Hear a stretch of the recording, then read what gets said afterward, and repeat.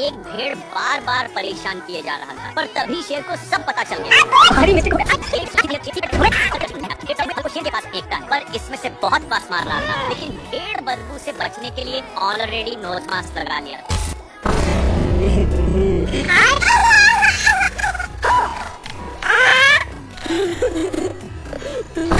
भेड़ शेर का मज़ाक उड़ा ही जा रहा था कि तभी शेर गर्लफ्रेंड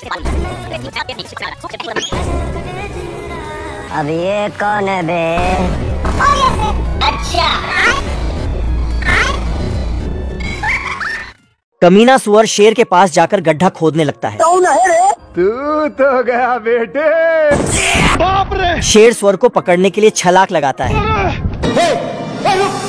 शेर सीधा भागते हुए चला जाता है। लेकिन सुअर तो लकड़ी के पीछे छुपा हुआ था। अब सुअर बाहर निकल कर कहता है चला जा के और फिर से गड्ढा खोदने लगता है। खोदते खोदते गड्ढे में से एक लकड़ी का पुतला निकलता है। ये क्या है? अचानक से लकड़ी का पुतला हिलने लगता है और सुअर के चेहरे पर किसी गोंद की तरह चिपक जाता है। भारी मिस्टेक हो गया सर। अब तू गया बेटा। अरे दादा रे। भागते हुए शेर एक चट्टान के पास आ जाता है। ये फंस गया सीएम। तेरा क्या होगा कालिया? खत्म। अब भागते हुए शेर पुतले के पास आता है। ऐसी क्या चीज़ है जो बच्चों को डरा रही है? ठीक है भाई मैं चलता हूँ। ओके ओके बाय अब मेढक कूदते हुए सुअर के पास आता है।